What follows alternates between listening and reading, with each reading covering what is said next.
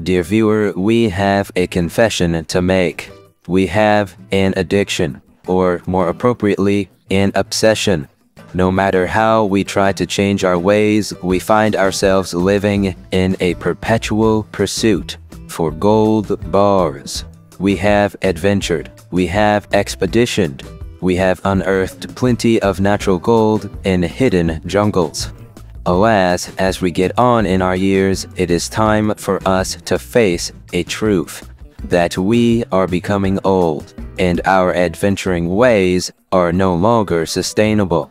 We are no longer in the field digging for gold. We instead spend much of our time at home. And although we have had to suffer through an adjustment period, we have found a way to keep our gold lust in check.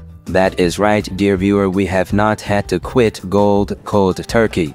We have done the research with our good friend Archimedes. He has shown us a method by which we may extract gold from everyday objects. If you don't believe us, dear viewer, you surely will soon. From these old CPU scraps, we will manage to extract a few sizable gold nuggets nuggets that will have all the authenticity of gold we would find buried deep within the earth. Gold is world famous for a very good reason. It is one of the densest of all metals on the earth. It conducts heat and electricity very easily and is the most malleable and ductile of all elements. Gold is attractive, workable, and does not tarnish or corrode. Due to these qualities, it is no surprise that gold was one of the first metals to attract human attention. Many examples of elaborate gold workmanship in nearly perfect condition have survived from ancient Egyptian, Minoan, Assyrian, and Etruscan cultures.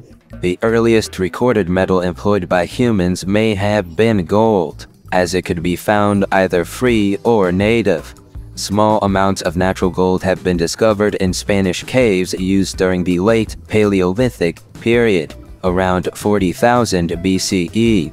Shaped gold artifacts made their debut at the beginning of the pre-dynastic period in Egypt, a time that lasted from around the 5th millennium BCE and the start of the 4th. Egyptian hieroglyphs from as early as 2600 BCE describe gold as being more plentiful than dirt in the country.